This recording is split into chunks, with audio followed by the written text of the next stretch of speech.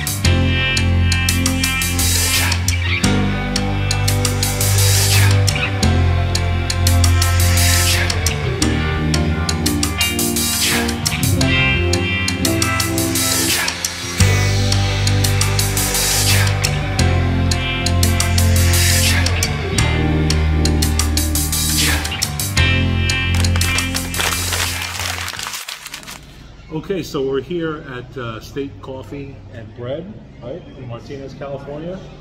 Uh, I already walked through. There's going to be some uh, video shot in and out uh, to kind of give you an idea of how the place is laid out.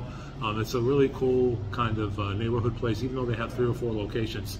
And I'll post all the locations, obviously, um, in the description box, and then I'll put some of the uh, Kairos. I mean, who knows what I'll do? You know, we're I do all kinds of crazy stuff when I've got time on my hands. So I'm going to back this up so you can actually see coffee I'm drinking. I just took a regular mocha here and I'm gonna give it a little sip. I'm sure it's delicious. They do a lot of art.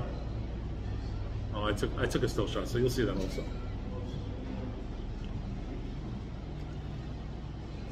Actually, this is really good. It actually tastes like chocolate and not chocolate syrup. I mean, this is actually very, very good. I'm kind of impressed. I'm not a big like sugar and syrup kind of person.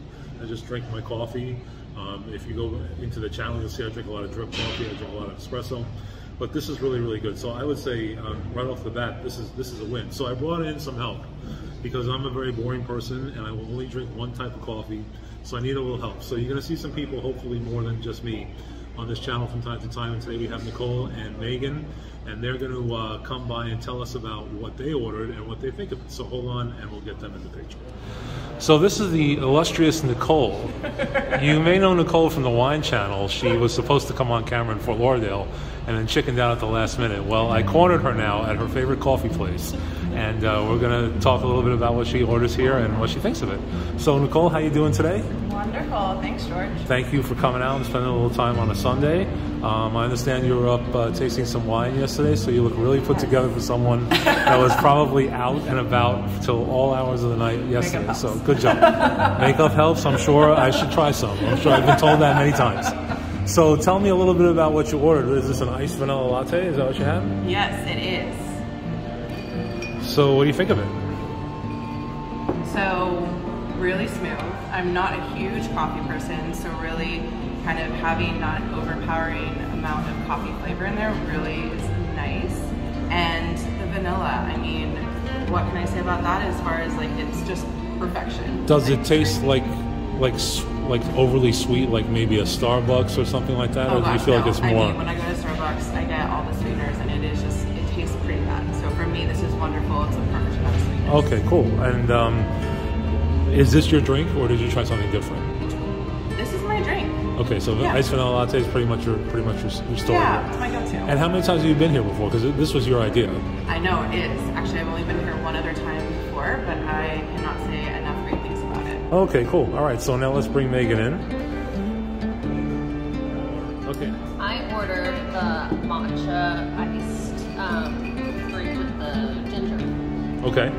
And obviously you've had some of it, so tell me a little bit about what you thought of it. I mean, I by the way, these are both whole milk, right? They're both Yes, whole milk. correct. Okay. Very And so is mine. Yeah, it's very creamy. It's delicious. Do you taste the ginger in the it? ginger you definitely get on the after taste, which is nice and kind of a different spin because Starbucks beans like don't have that kind of blend. They have more of a matcha taste, right? More Matcha, vanilla Sometimes you can add vanilla to it. Okay.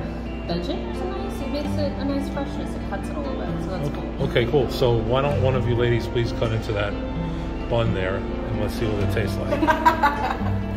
I mean, I'll definitely taste it as well. Don't get me wrong.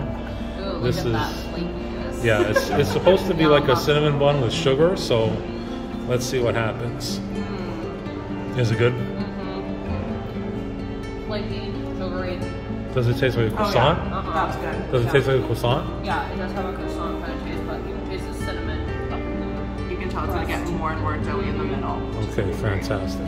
That'd be a good job. Okay, just to show that I'm not like a food pusher, I'm actually going to have some of this. Uh, normally, I don't eat this like pastry stuff. I'm a little too old to eat all this sugar and whatnot, but I'm going to give it a shot because I made them eat some. So let's see how this goes.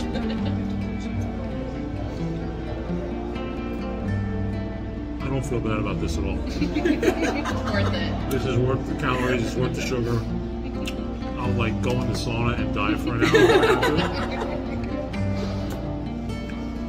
to. Now they have a lot of other pastries here, but unfortunately we came in the afternoon on a Sunday, so they were pretty much cleaned out. But maybe I'll come by one day and taste something else that so they get more of a representation of like the different places that they have. But I don't feel stuck mm-hmm. by this. Yeah.